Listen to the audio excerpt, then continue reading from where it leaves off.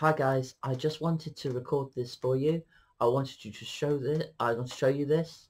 Um, basically, YouTube has blocked my live recording of the protests in London two days ago under the uh, policy that it counts as spam or defective, deceptive practices and scams.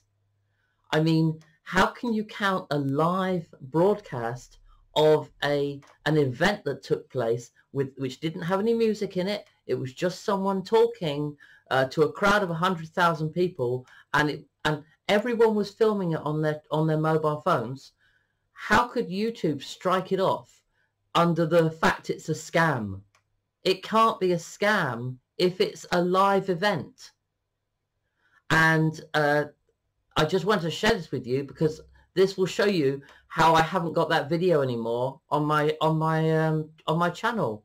It was a an hour and a half video. It hit 500 people watching it, and now community guidelines have striked it off. All I can assume is someone reported it, or YouTube have now blocked those videos from going out. Okay, and I, I thought I'd put this out so for you that wanted to watch it. I know there were a lot of people who wrote to me and said they wanted footage of this. And uh, sorry, I haven't got that for you now. But if you fancy it, send me an email and I will send the footage straight to you. Okay? Um, that's the best I can do on this occasion.